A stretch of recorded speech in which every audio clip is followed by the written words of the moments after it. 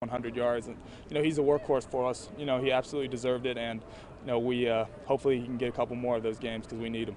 And I'm still a running back now. Right. Like even though even though we are playing pretty well on offense, you know we still love to run the ball. So, um, but you know really, in all honesty, any way we can put points on the board and move the ball down the field and keep our defense off the field, um, that's what we're looking to do. Some games we're going to have to throw the ball a lot. Some games we're going to have to run the ball a lot. Some games we can do both, like today. And we asked him how it felt to finally go over 100 yards on the season and have that big game you know he's been wanting all season. He said, at the end of the day, we won, so I'm much happier that we were walking out of here a winner than my personal performance. Guys, back to you.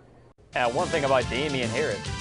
Best or nothing, brought to you by your local Mercedes-Benz dealers our player of the game, Damien Harris. One thing about him, Mike, is uh, if he gets to 1,000 yards this year, he'd be the first running back in Alabama history to do that. And to think everyone thought he was going pro. Yeah, absolutely. In, in, every game that he knocks off 100 yards, he's passing people on the career rushing list. He's trying to make his way towards the top. Such a good guy, such a good teammate. I love seeing him have success. Now, every single year, Alabama is so stacked at running back. Is there any surprise that Harris has not had that breakout game, had to go six weeks in to get it? I, I don't think so, because I think when you see the way this team is structured, and obviously they've been able to pass the ball with a ton of success, but they also have a ton of running backs. Damien Harris doesn't seem to have a problem giving carries to Josh Jacobs, Najee Harris, Brian Robinson, you saw a ton of times today. He's also taking licks off of himself. He knows what his future is. He knows he's going to the NFL. Uh, he knows that the less carries he has, uh, probably the fresher he'll be down the road. We have more player interviews from Fayetteville coming up after this break, but before we go,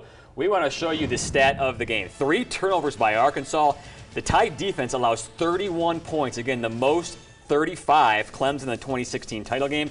Tua had more touchdowns than he had incompletions. That's how incredible that guy has been. Four passing touchdowns, three incompletions. More players from Fayetteville after this break.